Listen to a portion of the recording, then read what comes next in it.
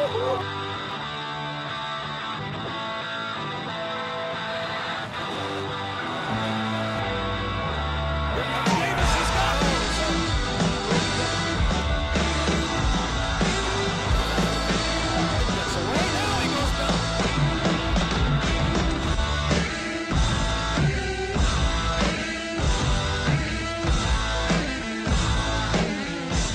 One down and three to go for the Illinois State football team in its quest for an FCS national title.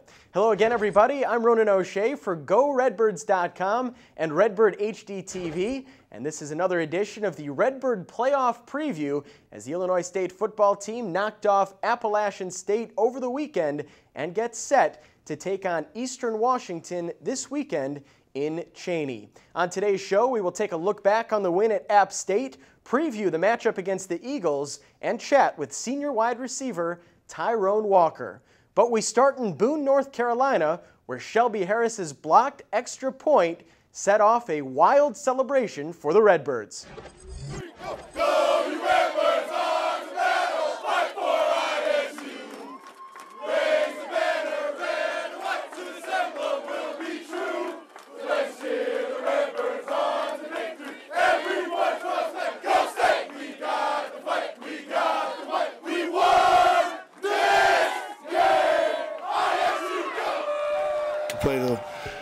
a game like this on this kind of stage and be able to win it in overtime is uh, a real statement of our players and their hard work and their mental toughness. We've been uh, kind of been road warriors all year and uh, did again today. So I'm very, very proud of our team. We've all worked so hard to uh, get to this point, and just the fact that we were able to come out of here with a win is is just beyond words right now. And uh, you know, we, we just we know that uh, we got to be able to put this one to bed and uh, then get ready for next week um, because it is you win, win or you go home. So uh, we're just we're just happy that we can keep winning.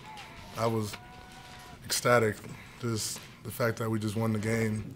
Like we all played so hard, both teams, and Appalachian State is a great team, and we came in here and beat them, and that's just it means a lot. I mean, it shows a lot of how Coach Spack prepared us throughout the week, and how the team played throughout the game.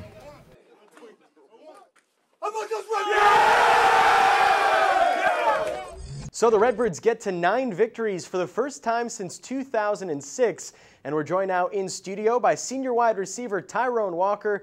Tyrone, busy time of the year for you. Thanks for coming by. Oh, no problem. No problem. You know, you've been waiting four years to get to this point.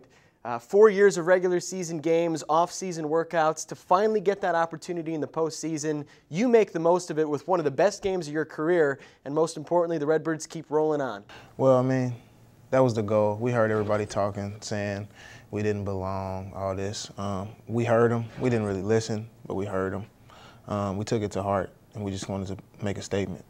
It's fuel, though, for you when you hear other fans or other media saying, hey, maybe they don't belong. You, you take that personally? Yeah, no doubt. I mean, when, you, when, you, when you're playing for the conference championship or your last game of the season in the toughest conference in this division, then you're going to know that you belong. So, I mean, we feel that it was kind of wrong for everybody to be like, they shouldn't be here. They lost to two teams that weren't even ranked. Those teams would probably beat a lot of other teams in a lot of different conferences. It felt like there were times, too, during that game that maybe Matt Brown started to just take over a little bit. There were times where you at wide receiver started to take over the game, and the same thing can be said on defense and special teams very good as well. This was a real team effort in every sense of it, going on and beating a three-time national champion on the road in a real tough environment. Yeah, no doubt. Um, we knew that we would have to play good in every phase of the game. Offense, defense, special teams, of course. Um, we had to win the hitting yardage battle in order to win the game. Our front our front played good on both offense and defense. Um, they set the tone early.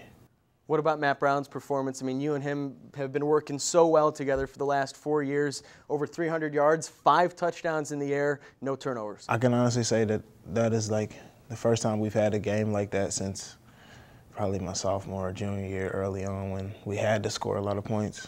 Like, we had to score that game, but we haven't had to score a lot to win the game because our defense has been so good. When we used to have to score a lot of points, there were times where it could just come to me and it just clicks. Now I got to ask you this: uh, when you look at Eastern Washington, everybody notices the turf first. You're a big fashion guy with the yellow gloves and everything. What do you think when you see that red turf? Um, I wish we had red turf. um, the red turf, it's nice. They kind of get you when they wear the red jerseys. Kind of throws you off a little bit. You can't really tell like where their alignment is at sometimes because you lose them for a second. You have to just focus in a little bit more. Um, if, if we had red turf and the fans wore red, it would be pretty pretty sweet. Kind of like Boise, you know, they say they get they get the advantage where they wear blue. Um, the red turf just gives something else for the other team to think about. Well, it's definitely unique, and there's not a lot of wide receivers though that go with the uh, yellow gloves either. Yeah, um, maybe I'm a, I might change it up and wear red just to blend in a little bit. Maybe they'll lose me or something. We'll see how it goes. Really looking forward to the game this weekend. Uh, Tyrone, before we let you go, uh, congratulations to you, too. You come in here, you set all types of records as a wide receiver, and uh, you'll be graduating here a little bit later this month in three and a half years. That's uh, quite an accomplishment. Yeah, it, seems, it seems like I just arrived yesterday, man. I was, I just got on campus. Was mad at all the coaches. I wasn't starting. I felt I should have been starting, but I mean, it all worked out for the best. Well, let's keep it going, all right? I'm, I'm not ready to be done with this this weekend. Yeah, no doubt. Good stuff. Tyrone Walker, senior wide receiver. We'll take a quick timeout. When we come back, we will take a closer look at Eastern Washington.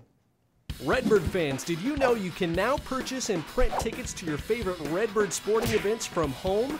Head on over to GoRedbirds.com, click Tickets, and select your favorite Redbird sporting event. What are you waiting for? You're just a couple clicks away from printing your tickets at home, which means no waiting in line when it's game time. Go to GoRedbirds.com to print your tickets today. Welcome back to the show. So next up for the Redbirds is a matchup with Eastern Washington. Let's take a closer look at the Eagles. Eastern Washington University is a public institution located in Cheney, Washington, about 15 miles outside of Spokane. The university was established in 1882 and currently has 12,000 students. The Eagles call 11,000 seat Roos Field their home but the stadium is best known for its iconic red turf. The Eagles have had unprecedented success in recent years, including an FCS national championship in 2010. Fourth year head coach Beau Baldwin guided Eastern Washington to impressive victories over Montana State, Montana, and FBS Idaho, with the only losses coming to Washington State and Southern Utah by a combined seven points. The Eagles defeated Wagner 29 19 last weekend in Cheney as 6'5 All American wideout Brandon Kaufman had 10 catches for 174 yards. Quarterback Kyle Padron made his first start since September 8th and threw for 327 yards. The Eagles averaged 31 points per game on offense. Defensively, Jerry Seau paces the squad with 11 sacks while Ronnie Hamlin has tallied 117 tackles. Before we go, let's take a look now at the updated FCS brackets now that we're down to the final eight teams. The winner of Illinois State and Eastern Washington will face either three seed Montana State or Sam Houston State. In the top half of the bracket, there were no real upsets last weekend. Old Dominion will host Georgia Southern, while fellow Missouri Valley Conference foe and top-seeded North Dakota State takes on Wofford. So all that's left now is to go out west to Cheney, Washington. It will be a 5 o'clock central kickoff on Saturday, and you can watch that game on ESPN3. If you're interested in making the trip out west, you can get tickets online at GoRedbirds.com or through the Redbird ticketing office. If you can't go, don't worry about it. We've got you covered right here at Redbird HD TV. And remember, for all things Illinois State football, look no further than GoRedbirds.com.